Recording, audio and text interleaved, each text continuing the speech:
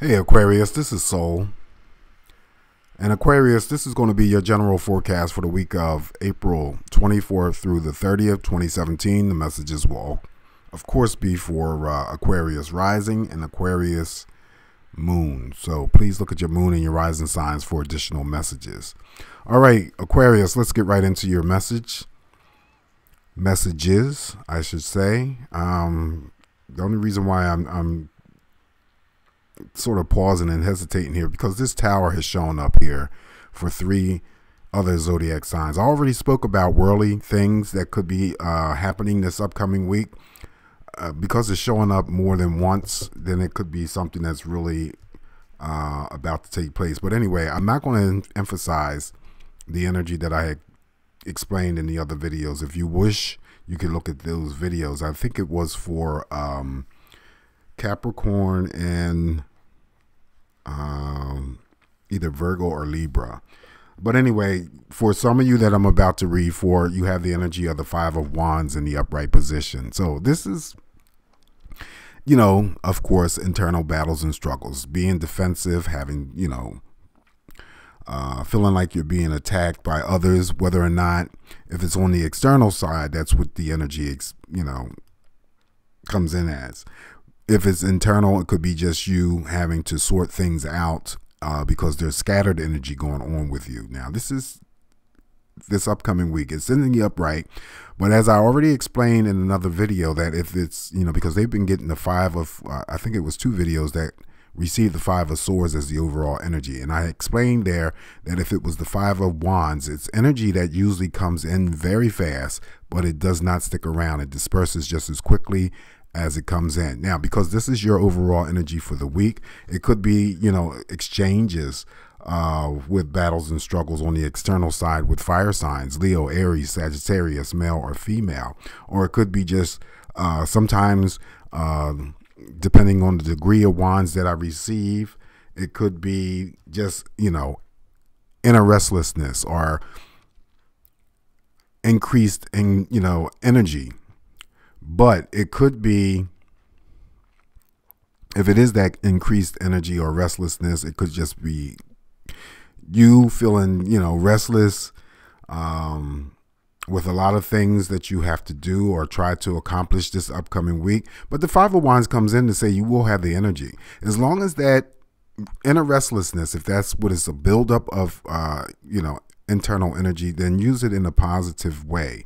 Um, it could be that, you know, I don't always see this as, you know, battles and struggles. It could be that the Five of Wands is showing up and I'm picking up increased energy for you, Aquarius. That means that you might be uh, having the energy to assist others because there are other people here in this card. So you might have that energy, or it could be the energy coming from others and assisting you. It could go either way.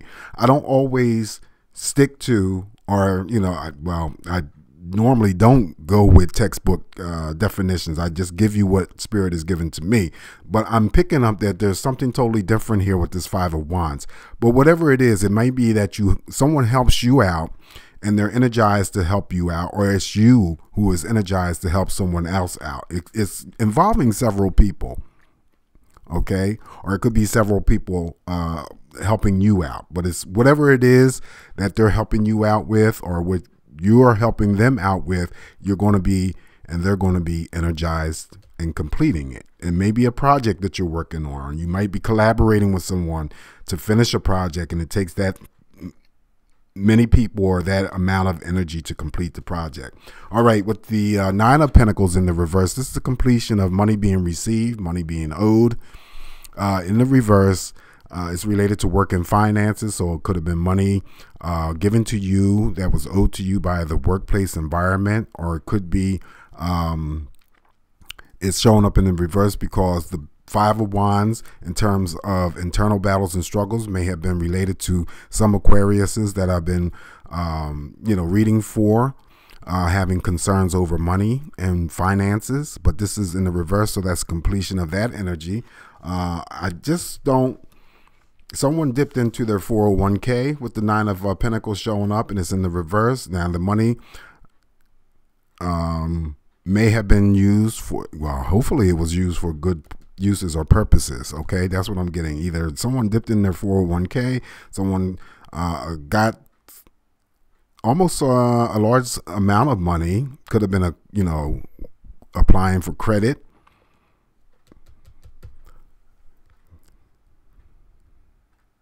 Money being returned from money being uh, you know, lending out. It could have been that Aquarius loaned someone uh, money out to uh, another person, family members, friends.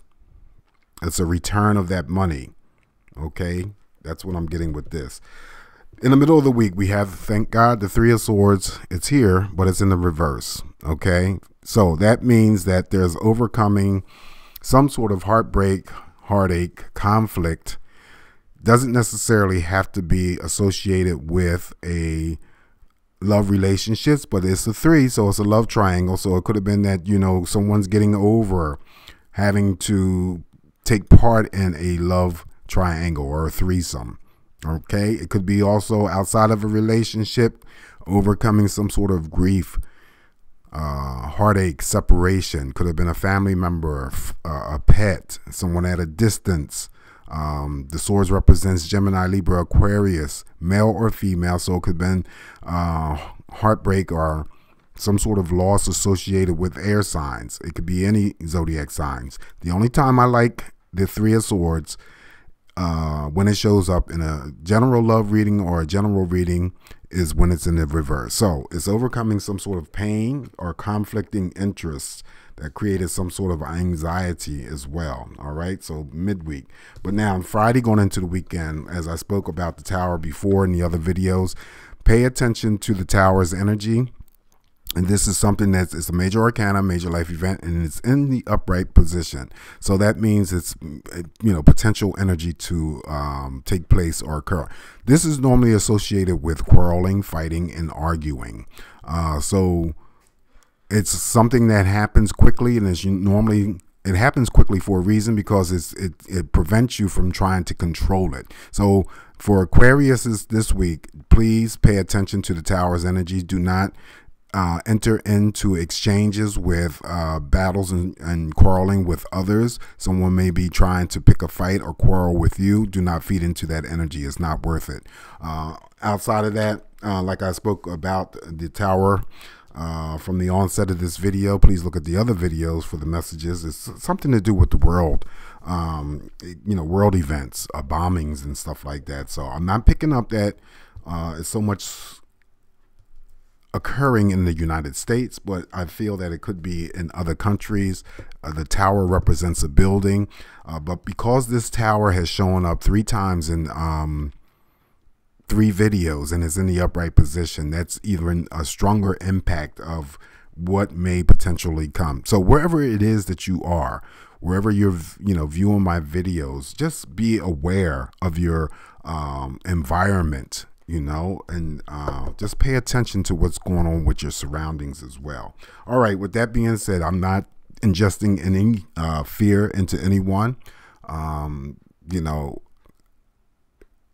I try to keep out worldly events and just try to stay with the scope of the the sign that I'm reading for. But I'm, I'm being drawn here.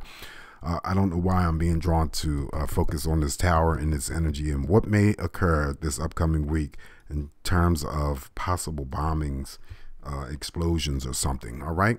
With that being said, always take out of the reading what you can, Aquarius. Leave the rest alone. Uh, I do appreciate you all. I'm sending out a lot of love and light to you uh, this upcoming week. Please be safe. Until I talk to you again, Aquarius. Be well. Bye.